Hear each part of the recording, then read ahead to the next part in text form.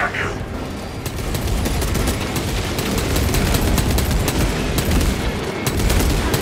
Burn that hideous spirit I have burnt till off.